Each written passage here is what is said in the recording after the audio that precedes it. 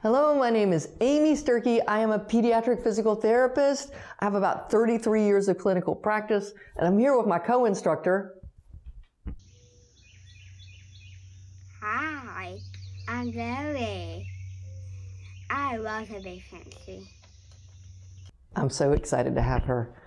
Uh, today we're working on breathing exercises, and on this exercise, it's a little bit different.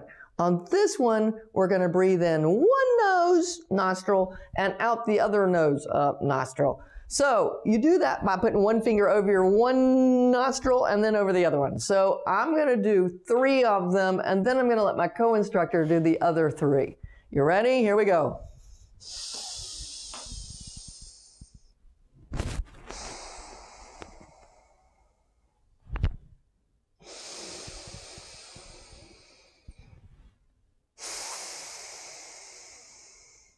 That's two.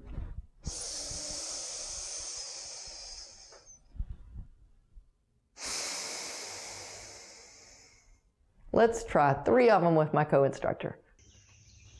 One,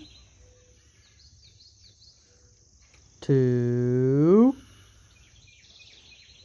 three, four.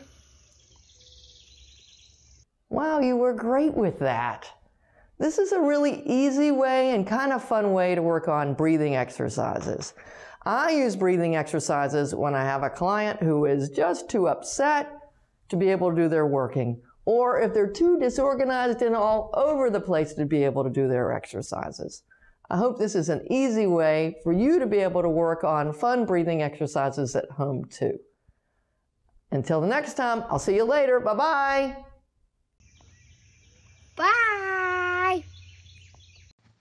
If you liked this video and would like to be notified by email when the next video comes out, click the subscribe button here and click the golden bell icon and ensure notifications are enabled on your account.